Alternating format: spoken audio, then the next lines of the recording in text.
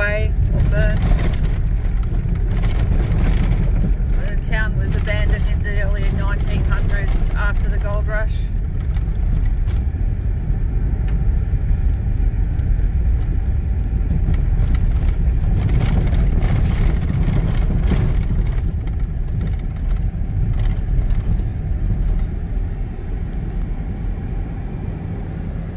It's like quite a deep creek down there. Hmm. Be a nice place for detectives, wouldn't it?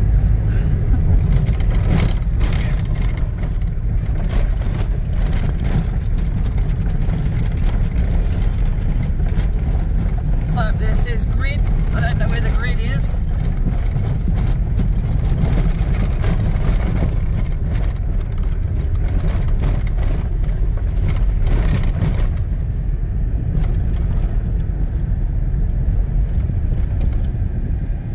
Oh, here comes the grid. Stop the cattle getting through.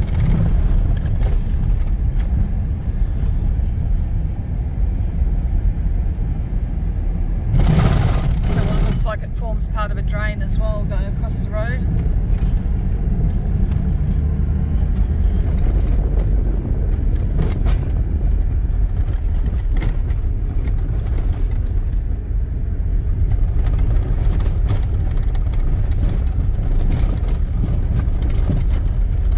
It's about seven kilometres between Kingsborough and Thornborough. Uh, two little thriving towns back in the late 1800s.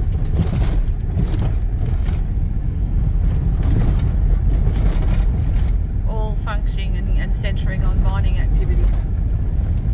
They both had schools, they had banks, they had shops, they had pubs and quite a few houses. Road's a little rough through here.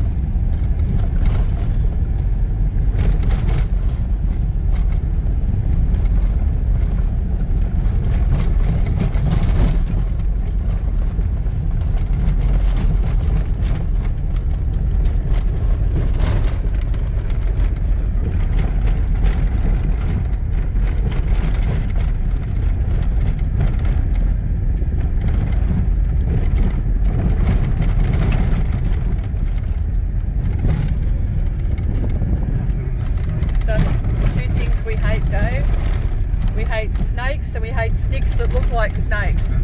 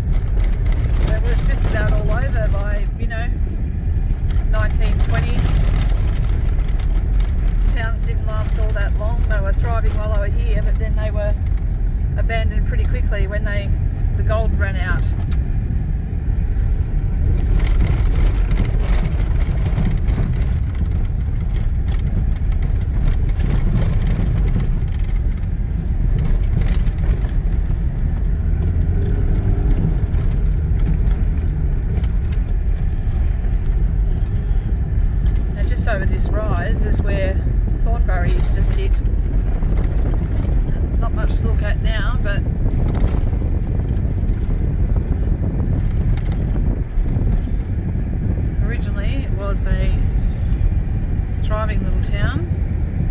It says there's a few signs up here and it says camera surveillance, private property keep out, which is fair enough. People don't want the odd tourists driving in and having a look.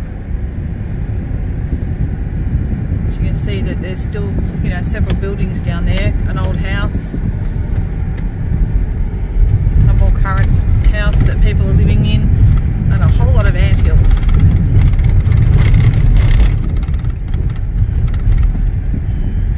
interesting to swing a metal detector around there and see what old coins and what have you could find. Since there were several pubs there at one stage.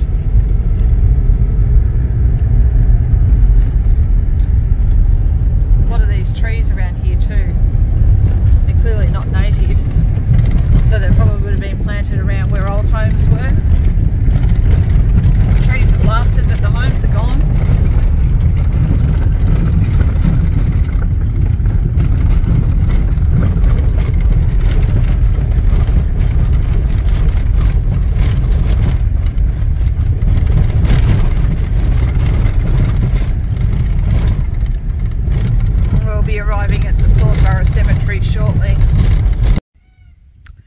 Well here we are, we've arrived at Thornborough Cemetery.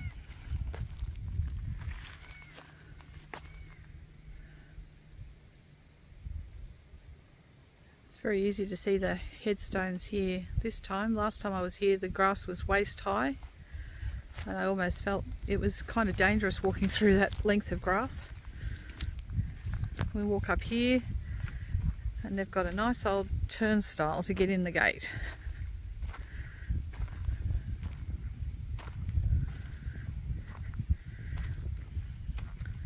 It says on the fence here, this cemetery has been maintained annually since 1981 by the Cairns Four Wheel Drive Club Incorporated. They do a great job coming out here every year. They come here and they also go to Mount Mulligan and keep the cemeteries cut back once a year. I came, you know, earlier in the year and because it, it was wet, the grass was waist high and it was crazy, but this is, looks really good now.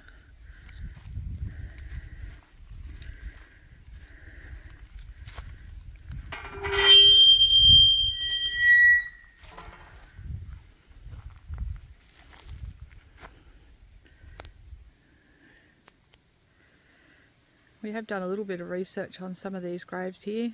There's not a lot to be found. I think there's one or two here um, that are buried that were part of the mining disaster at Mount Mulligan, but most of those men are buried in the um, Mount Mulligan cemetery.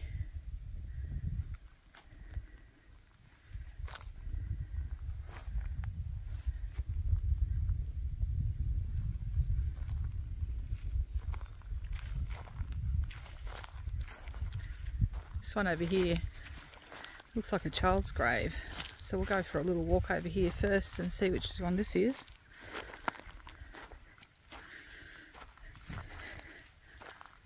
In memory of Charles Robert Thomas, born 16th of September 1888, died 2nd of October 1918. So it's not actually a child's grave, it's just a very small headstone.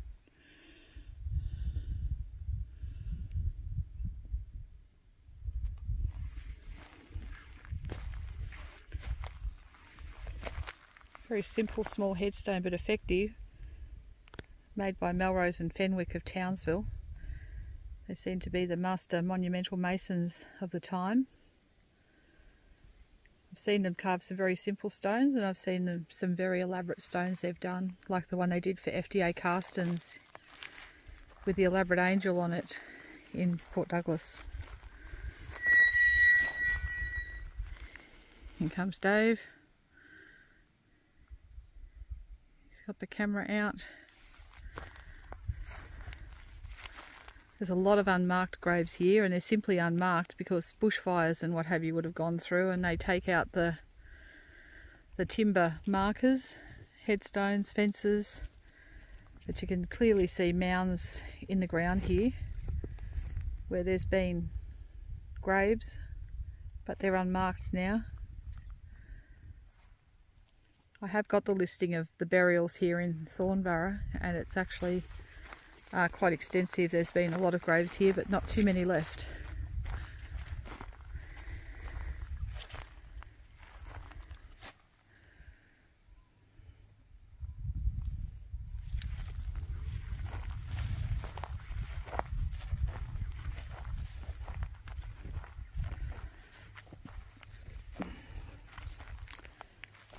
This one is NPF Nudstrup. Died 7th of September 1916, aged 69 years and 10 months, at rest. Nudstrup. Kind of sounds Dutch, doesn't it? I'm not Possibly. sure. Could be Dutch.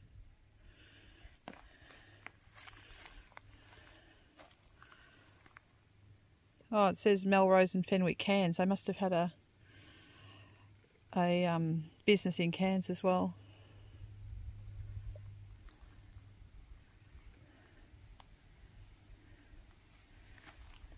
This one over here has almost got competing headstones with this ant's nest in the front of it. Wow, what a difference it makes having the grass mowed. Doesn't it? Oh, it's so much safer. Yeah, safer, that's for sure. This is um,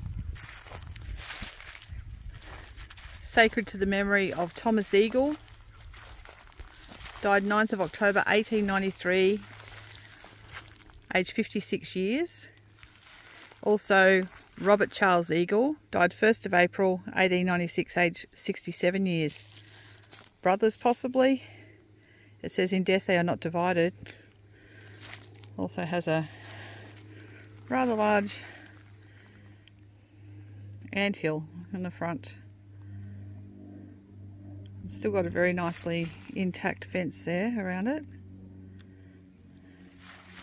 That's nicely preserved.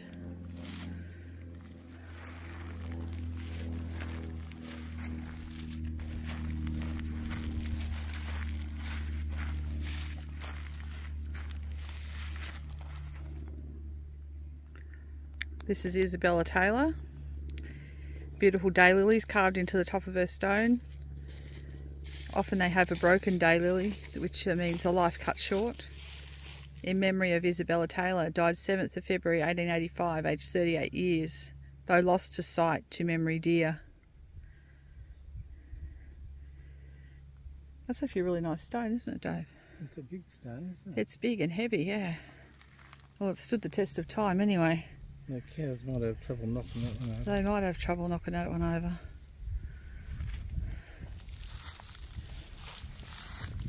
Fortunately, this, this cemetery is actually fenced, so they can't really get in, whereas up at Kingsborough they just got free reign to walk wherever they want. You know, this camera's definitely on the way out. I can't even see.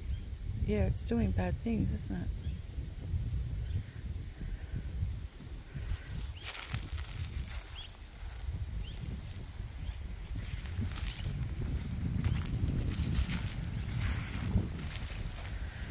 Here's another one of these cast iron type of stones. It's got all the ivy. It's very intricate, but obviously the writing's washed off. It's a beautiful stone. Well, it's not even a stone, it's a cast iron memorial, I guess. But obviously we don't know whose it is because all it says is sacred to the memory of. And the name's obviously gone. But what a beautiful stone Grave marker.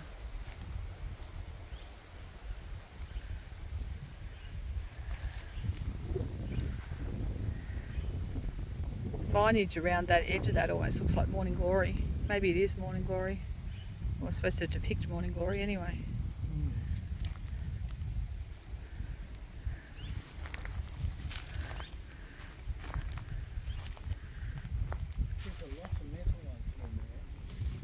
Yeah there is. There is a lot of metal ones here. Um, have a look at this big one. Someone's put a board in to hold it up. Yeah. This is HCW Bulls, who died 27th of September 1894, aged 59 years. A precious one from us is gone, the voice we loved is stilled. A place is vacant in our home which never can be filled, erected by his son and widow. That's a really nice stone. Actually, I saw one very similar to this up at um, Port Douglas when we were up there. The same marking, the same sort of top on it.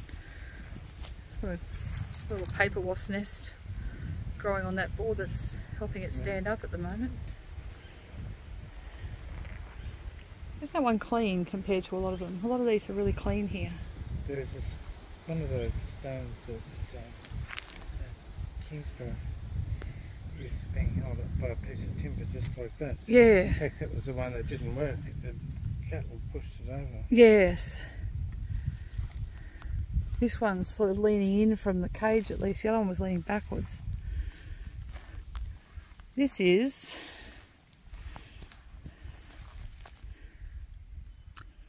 in loving memory of Emma Evenden. Died 16th of July 1888, aged 54 years. Also her grandchild Gertrude Woods died I think it's the 17th of September 1898, aged two days. Also, George Jonathan Evenden died the 23rd of August 1907, aged 77 years. Uh, it says, "Tis hard to give them up, but Thy will, O God, be done."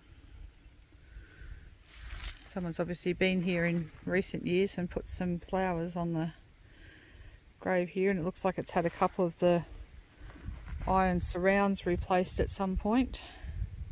Hmm.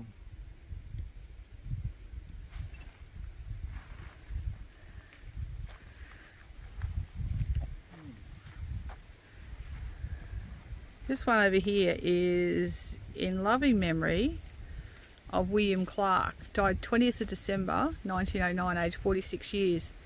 Released from sorrow, sin and pain, and freed from every care, by angels' hands to heaven conveyed, to rest forever there. That's a really beautiful big stone too. I can't imagine they would have been cheap, these stones, when they were carved like that. Hmm. But I don't understand. Just look at that. But there's not much space there. No, And look at this field around us. Yeah. They buried three people there. yeah, but I think there would have been so many more graves, but they're just not marked anymore. According to the records, this had a lot of a lot of burials here. So you think they didn't have too much space? Well, Well, I had to open Yeah. graveyard, didn't they? they did have to open another graveyard, and I think you know. And the other thing was, they didn't actually know that the towns were going to die out. You know, so they were probably expecting even more burials. That's over the years because they did expect the towns to um, to go on. Yeah.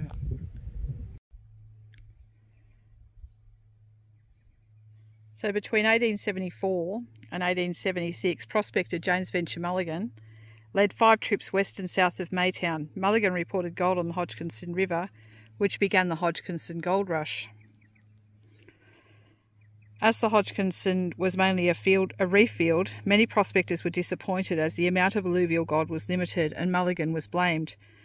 By the end of, the, of 1876, hundreds of prospectors were working on the Hodgkinson, and in 1877 the number grew to 1400. Kingsborough and Thornborough developed 80 kilometres west of Cairns in an isolated area. At the time, the nearest town was Cooktown. Now, I'd have to say that was 80 kilometres as the crow flies because it certainly is further than 80 kilometres to drive here from Cairns, which we did yesterday. It's probably a couple of hours' drive from Cairns. Uh, it says, however, Mulligan owned a, opened a store and a hotel on the corner of Mulligan and McLeod Streets in Thornborough. And soon there were many other hotels and stores of all kinds through Kingsborough and, Cor- and Thornborough four miles to the east. In 1874, Sellheim wrote, To this place there is a good dray road, and a township is springing up rapidly. There can be little doubt that it will be a place of some importance of some for some time to come. Well, it turned out it was only of some importance for a few years because, you know, 1875, 1876, and the gold rush was here in full swing. People were moving here by the droves. Obviously, cemeteries had to happen because towns were here. Um, but really, it was all over and done with by, you know, the early 1920s, and probably earlier than that. But there was some still some stragglers in the towns later. Um, but you know, many of those people that were living in the the towns out here are obviously buried in these cemeteries. There's no current burials here. I think the most current burials were um, possibly a couple of these graves, which are the Cummings graves. I'll just go in and have a look. Um, yeah, 1962. Um, this grave here of Robert Charles Cummings. So I think that's probably one of the newest graves here. And that one next to it is 1927, Victor Cummings. Oh, it says here, Victor Cummings killed at the Mount Mulligan coal mine, aged, oh, in on the 8th of 2nd, 1939, aged 20 years and 3 months. So that was actually well and truly after the first mine disaster, which killed 75 men, which was in 1921. It also says Christopher Cummings died 7th of January 1927.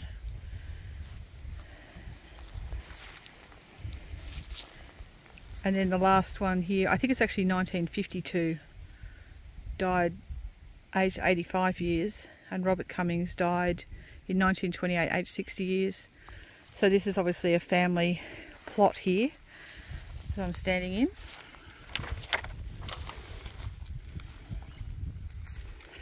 So this one says, see if I can get up nice and close.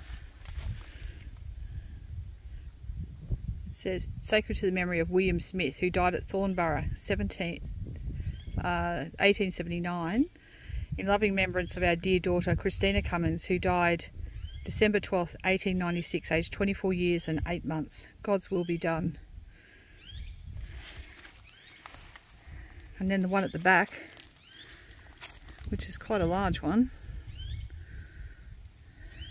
has the IHS on top so it would be a Catholic grave.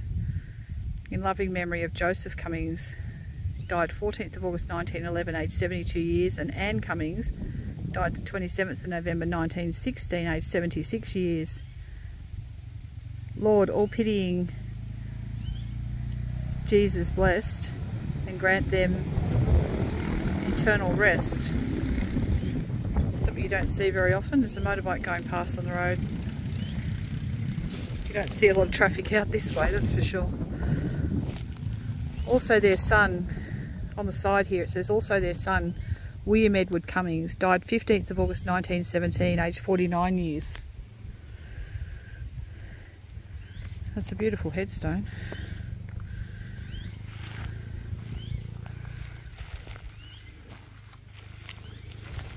There's another couple of those iron headstones here that don't really yeah, it's a shame because you've got no idea who they belong to, but they're so attractive to look at.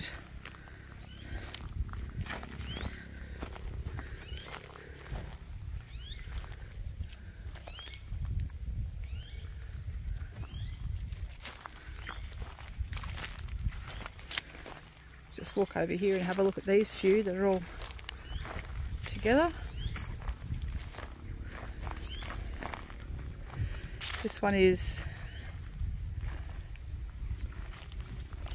Elizabeth Croft, born Sheffield, England, died at Thornborough, 23rd of August 1881, aged 42 years.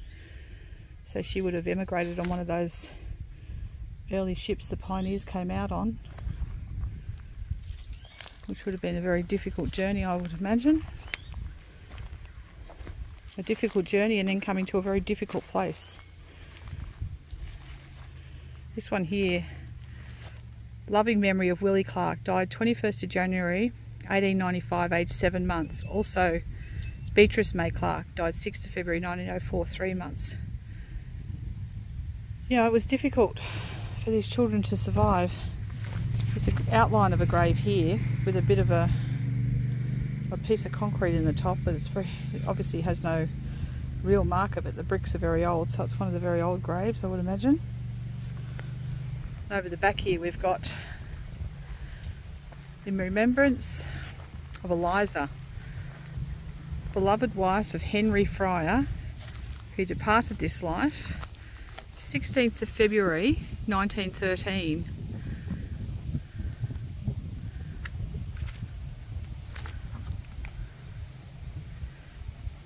says, Long days and nights she bore her pain, to give her ease was all in vain. But God alone, who knew it best, did ease her pain and give her rest. Erected by her loving husband and family. She must have been unwell and in a lot of pain by the sounds of that.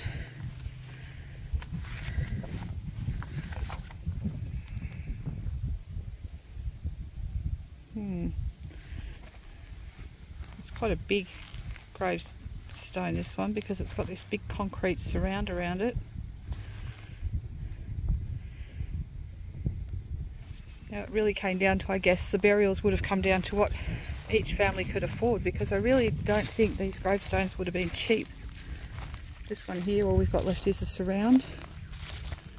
Possibly a wooden grave marker that's been burnt. There must have been a few trail bike riders up this way because we're Seeing a few of them go past at the moment. This one's over here all alone.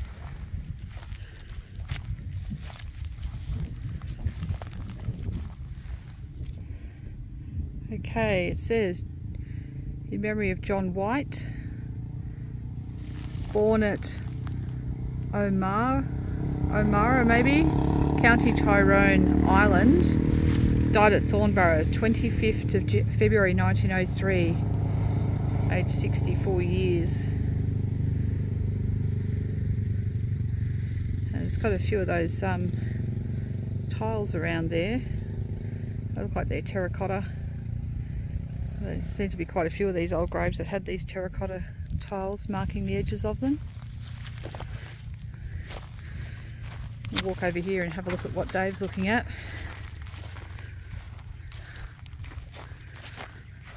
seems to be the whole centre part. There's all these graves at the front and then the whole centre part of this cemetery. There's obviously a lot of graves here but they're all unmarked now.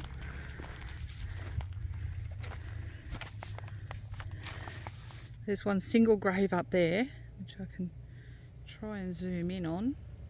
It's an iron marker so it's no point going up to read it because we won't be able to. But then we've got all these other ones that are across here where Dave's over there having a look so we'll walk over there and see what he's looking at.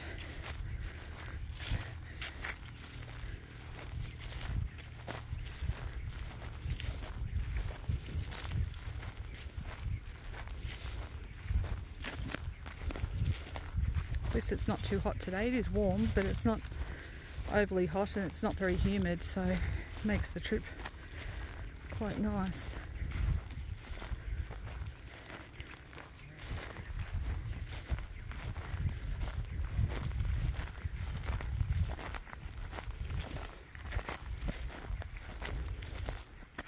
Found anything interesting? Oh, this mother who lost all kids. Oh, the mother, yes. I remember this one.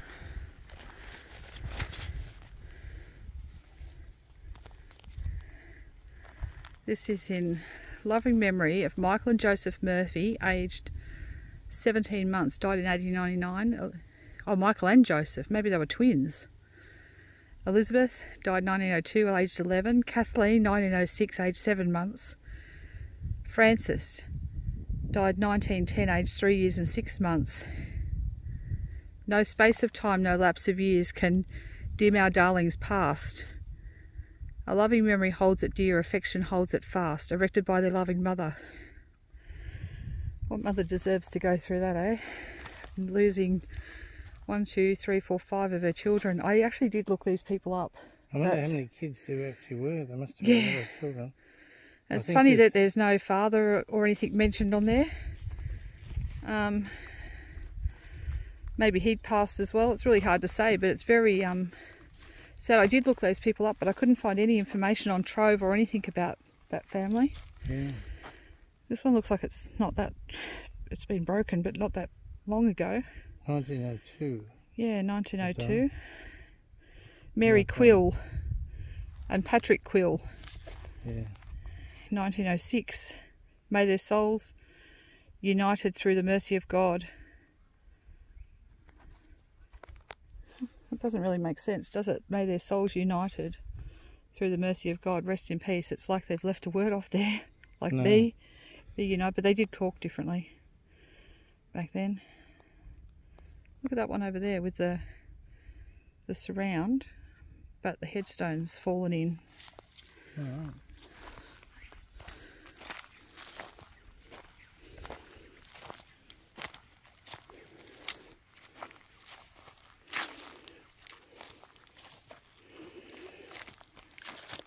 get up close and see if I can see who this is. Okay, it's Joseph Kavanagh, uh, who died on the 8th of September 1909, aged 46 years. And that's all it says on there. Oh, RIP at the bottom. You know, all of these people, most of these people came from Ireland. Yeah, there was a lot from Ireland here, wasn't there? I did notice that. There was one over there from Sheffield, England, but I've seen a lot of them are from Ireland. There's one there. Look at this one. It's just wooden surrounds now. Nothing left. But if you look across the if you look across the cemetery, you can definitely see the mounds where the headstones used to be. Like if you look across here, see how there's mounds in the ground? I was walking over there and I could see all of these mounds where obviously headstones have been in the past.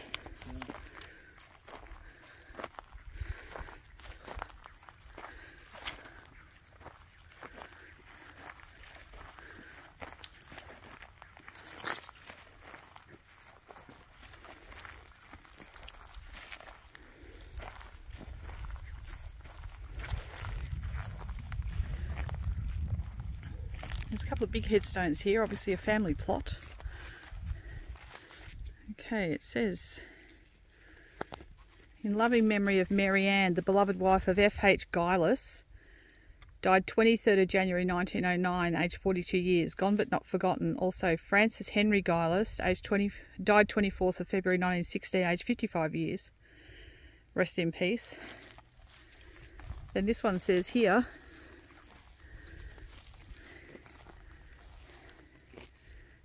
got the hands, um, the clasped hands at the top.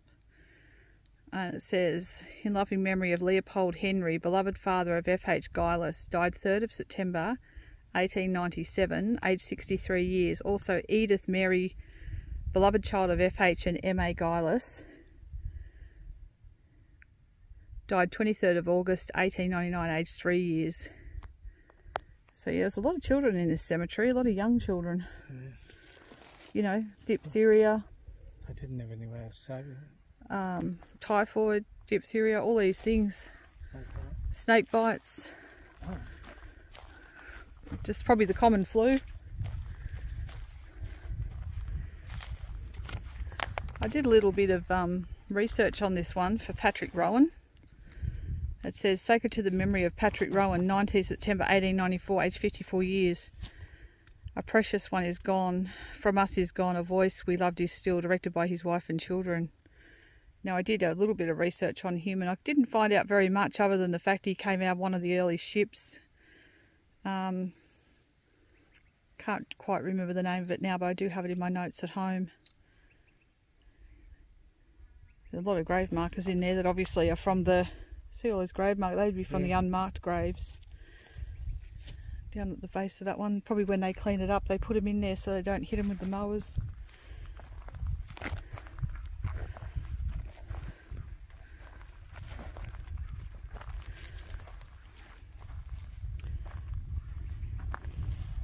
This one's a really cool epitaph on this one.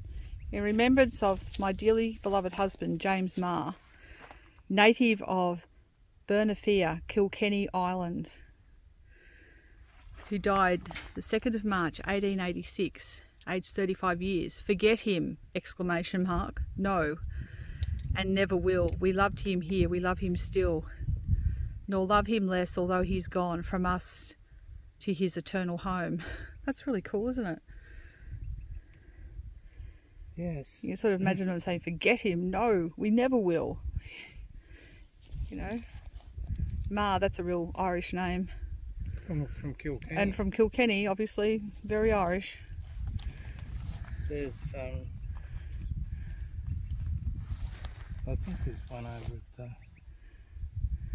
at the other cemetery there I've, I did find one here, um, killed at Mount Mulligan, but it wasn't in the disaster. It was killed. He was killed in 1939 at Mount Mulligan, Hmm. over there. One of the Cummings family. So, yeah, the, um, did I look at that one over there in the corner? Did I even notice it? Oh, look at that. Is that an anthill or is it a headstone? I. I think it's on the outside of the fence.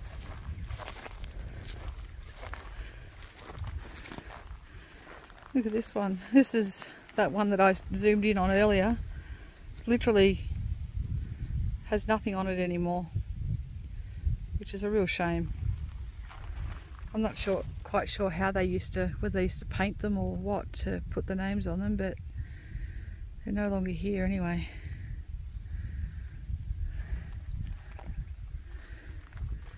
So that's probably an overview of who's here at Thornborough, Queensland, far north Queensland. So we'll head off and have a look at Mount Mulligan now. Have a look at the cemetery there, mainly made up of the men from the mine disaster in 1921.